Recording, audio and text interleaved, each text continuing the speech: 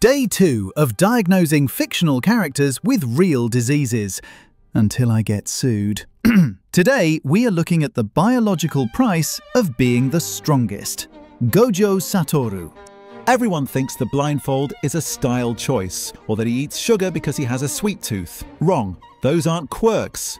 Those are life support mechanisms. Gojo possesses these six eyes, which allow him to see cursed energy at an atomic level. But biologically, this means his brain has zero filter. A normal brain ignores 99% of what it sees dust, light shifts, background static. Gojo sees everything, every photon, every atom, all at once, forever.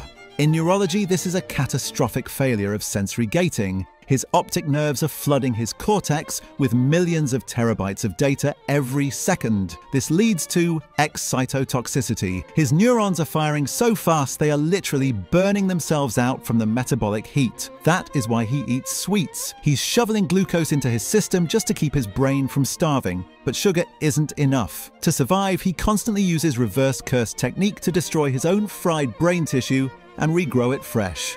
He's effectively lobotomizing himself every single second of every single day just to keep from having a stroke. The blindfold is the only way to dim the world enough to give his mind a break. He isn't a god. He's a patient living in a state of constant, agonizing sensory overload.